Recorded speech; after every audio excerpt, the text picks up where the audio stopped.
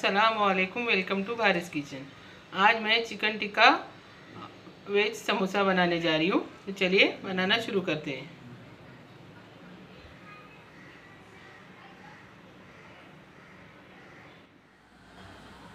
ये देखिए, मैंने आधा किलो बोनलेस चिकन लिया है।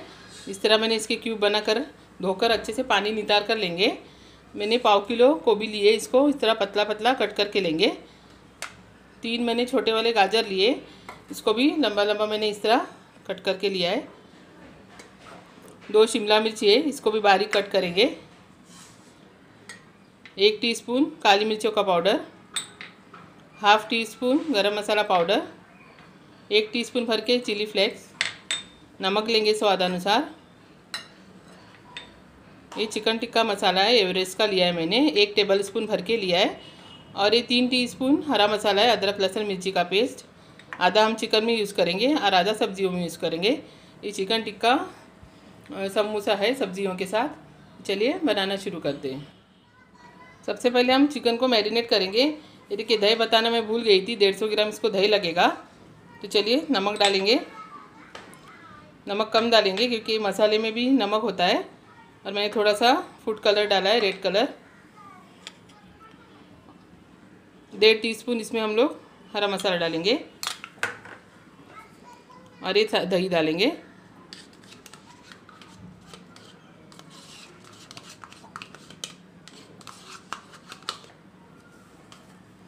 ये बहुत टेस्टी बनता है समोसा। इसको अच्छे से मिक्स करके लेंगे। और इसको 10 से 15 मिनट मैरिनेट होने रखेंगे। उसके बाद इसको पका कर लेंगे।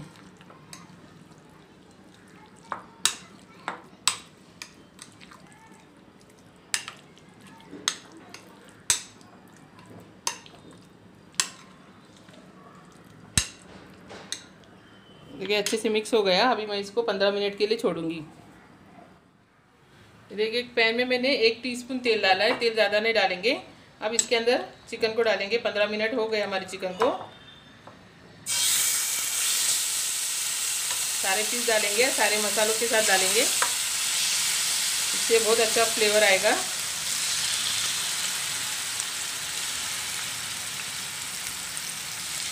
जब ये अच्छे से गल जाएँगे तो इसके रेशे करके लेने अब चॉपर में भी कर सकते हैं, हाथ से भी कर सकते हैं।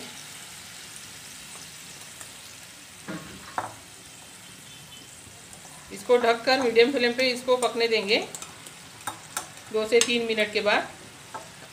दो से तीन मिनट लगेंगे। उसके बाद चेक करेंगे उसको। और इसमें पानी बिल्कुल नहीं डालना है। चिकन का, दही का पानी रिलीज़ होगा। उसमें चिकन गल जाएगा अच्छे से।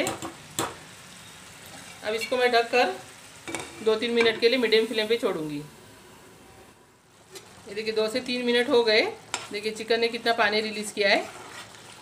इसी तरह चलाते हुए इसको पका कर लेंगे। चिकन अच्छे से गलना चाहिए और फिर सारा पानी ड्राई करके लेंगे। पाँच से सात मिनट और लगेंगे इसको पकने के लिए।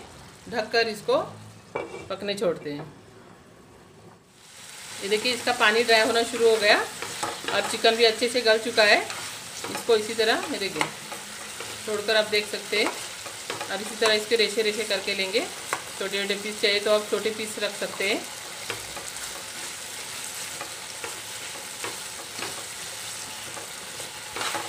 इसको अच्छे से ड्राई करके लेते हैं और फिर निकाल कर इसको ठंडा करेंगे और इसके छोटे पीस बनाएँगे।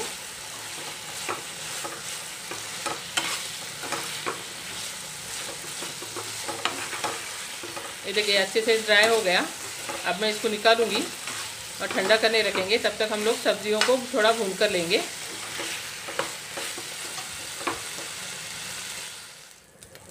ये देखिए चिकन निकाल लिया मैंने सेम पैन लिया है मैंने, उसमें एक टीस्पून मैंने तेल डाला है। अब ये हरा मसाला डालेंगे। और इसको एक मिनट भून कर लेंगे। इसमें ज़्यादा तेल की ज़रूरत नहीं है, क्योंकि समोसे को फ्राई करना है। और जो चिकन टिक्का हमने बनाया है, उसमें बहुत अच्छी खुशबू आ रही है। इसको हाई फ्लेम पे फ्राई करके लेते हैं।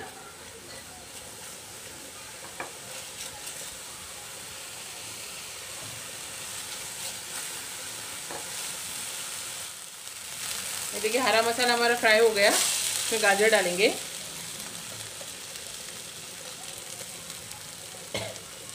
शिमला मिर्ची डालेंगे।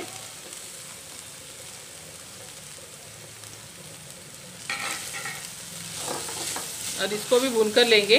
हाई फ्लेम पे ही रखना है, इसको ज़्यादा पकाना नहीं है। सिर्फ़ भूनना है थोड़ा सा कच्चापन निकालने के लिए, क्योंकि क्रंची अच्छे लगेंगे, ज़्यादा गल जाएँगे तो अच्छा नहीं लगेगा। इसको एक मिनट चलाएँगे इस तरह। गाजर थोड़े हार्ड रहते हैं, इसके लिए गाजर को पहले डालेंगे, और शिमला मिर्ची को को भी हम लोग थोड़ी देर बाद डालेंगे। इसको एक मिनट भूनने के बाद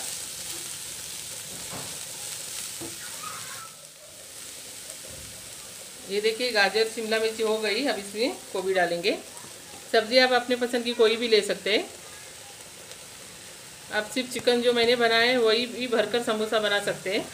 सब्ज़ी डालेंगे तो ज़्यादा अच्छा टेस्ट आता है और बच्चे भी ऐसे सब्ज़ी नहीं खाते तो समोसे में आप चिकन के साथ डालेंगे तो बच्चे भी खाएँगे। इसको मिक्स करेंगे अच्छे से। गैस का फ्लेम अभी मैंने थोड़ा लो किया है।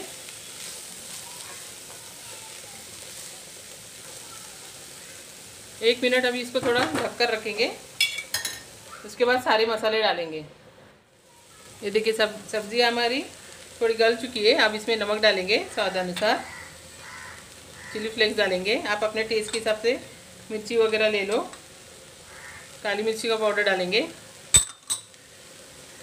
गरम मसाला पाउडर डालेंगे।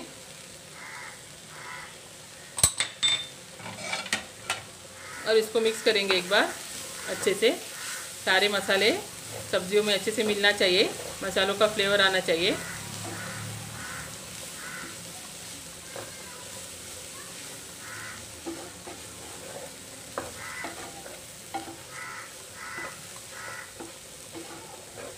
अब मैंने गैस का फ्लेम ड्रॉ किया है।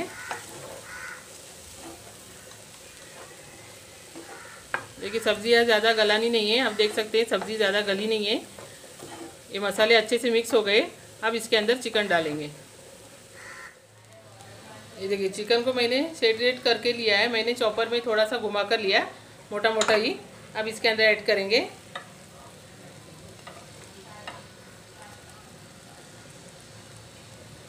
और अच्छे से सब मिक्स करके लेंगे।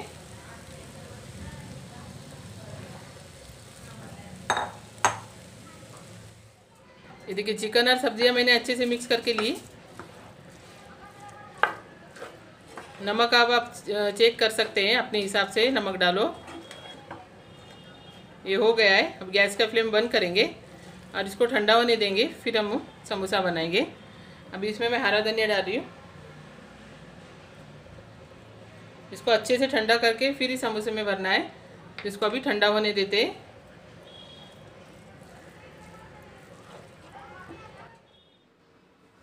ये देखिए, समोसे की फीलिंग हमारी ठंडी हो चुकी है। अब हम, मैं आपको समोसा बनाना बताऊँगी। ये जो मैंने समोसा पट्टी बनाई थी, वही लिए है। और उसके लिए मैंने एक टेबल स्पून मैदा लेके उसका इस तरह से गोल बना कर लेंगे, ताकि आसानी से चिपक जाए। अब इसको इस तरह फोल्ड करेंगे। और इधर मैदे का बैटर लगाएँगे। मैंने फिलिंग ज़्यादा बनाई है, क्योंकि मैं समोसे बनाकर फ्रीज़ करने वाली हूँ। इसके लिए मैंने ज़्यादा बनाया है। और थोड़े से मैंने बनाकर फ्रीज़र में रख दिए ये आप लोगों को बताने के लिए। ये देखिए पॉकेट बन गया।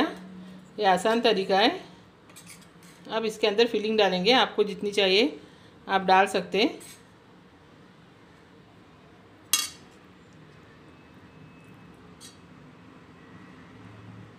ये देखिए, मैंने दो चम्मच डाला है। इसको इस तरह दबाएँगे ताकि आसानी से बंद हो जाए। और इधर भी लगा कर लेंगे। और आपको अगर फिर समोसे फ्रीज करने हैं तो इस तरह से बनाकर आप एक प्लेट में लगाकर पहले एक दो घंटे फ्रीज में रखो।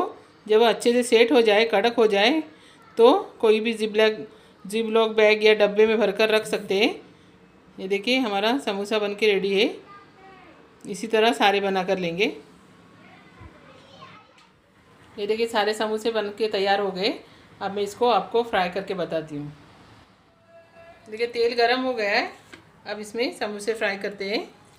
जैसे तेल गरम हो जाएगा तो इसको लो फ्लेम पे मीडियम फ्लेम पे इसको फ्राई करेंगे। ताकि अच्छे से क्रिस्पी हो जाए और ज़्यादा टाइम तक ये क्रिस्पी रहते हैं। तो इसको मीडियम फ्लेम पर अच्छे से गोल्डन होने तक फ्राई करके लेते हैं। देखिए, समोसे अच्छे से फ्राई हो गए। गोल्डन कलर आ गया इसको। आप देख सकते हैं। अब इसको मैं निकालूँगी और गर्मा गर्म सर्व करेंगे। ये देखिए, हमारा चिकन टिक्का समोसा बनके तैयार है। ये बहुत मज़ेदार है, एकदम क्रिस्पी बना है।